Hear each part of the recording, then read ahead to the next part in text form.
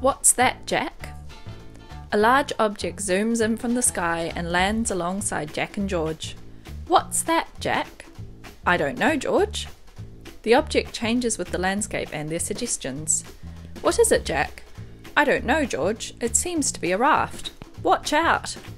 The next morning, the object flies back off into the sky. What was that, Jack? I don't know, George. But it was wonderful.